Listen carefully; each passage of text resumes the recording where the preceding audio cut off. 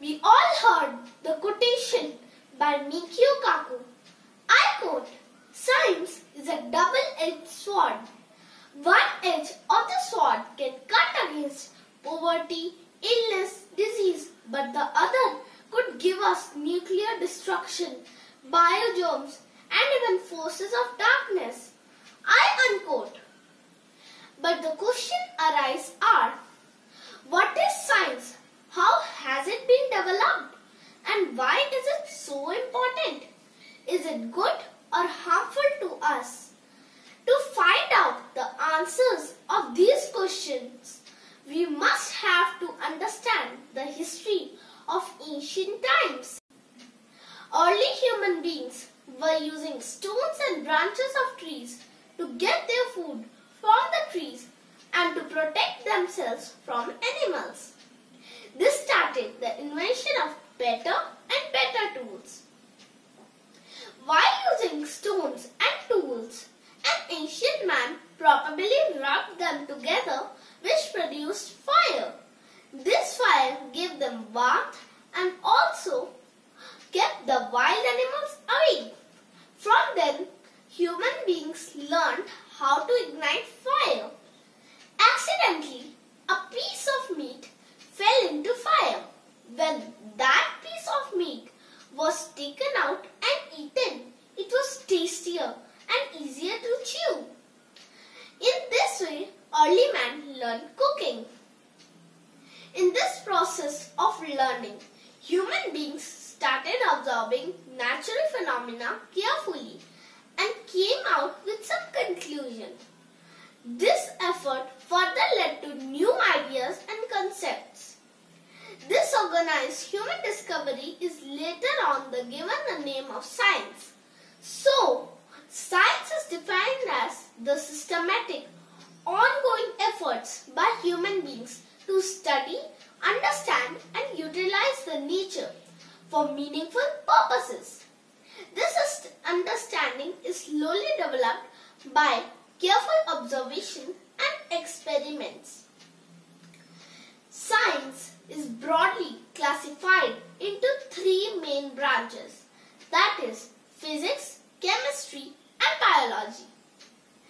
The branch of science that deals with the study of composition and the physical and the chemical properties of various forms of matter is called chemistry. So, chemistry gives us the answer of our questions. What are the things made up of? How are they made up of? Will they remain the same form? Or can they be prepared by man? Development of chemistry. Alchemy, an ancient practice, played an important role in the development and growth of chemistry. The goal of alchemy was to find a mythical and a magical substance called philosopher's stone with some magical power. Alchemy was both scientific and spiritual. In India, the alchemy was mainly practiced for medicines known as the Ayurvedic medicines.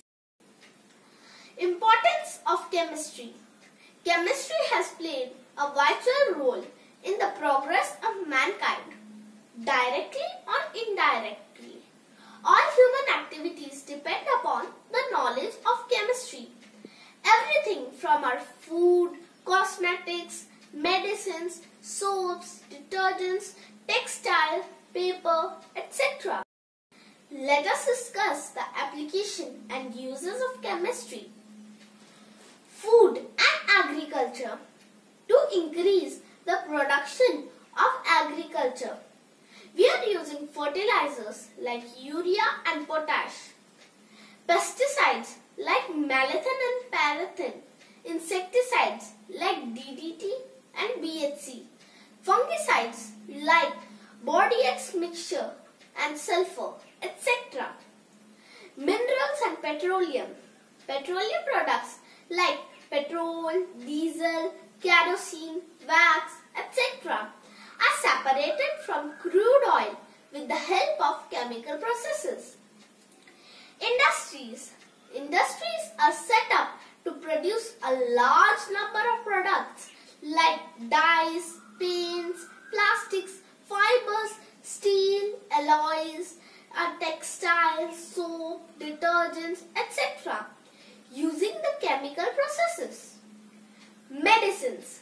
With the help of chemicals, various medicines are developed like aspirin, paracetamol, antibiotics to increase the lifespan of human beings. Cosmetics Talcum powder, skincare creams, lipsticks, makeup, deodorants, baby products, etc. are used for external beautification of human body are also made with the help of chemical processes. Clothing Chemistry is widely used in textile industries which manufactures clothes for us and converts fiber into fabric. Building materials Basic raw materials such as cement, mortar, steel, glass, paint, etc. used for the construction of buildings are manufactured by chemical processes.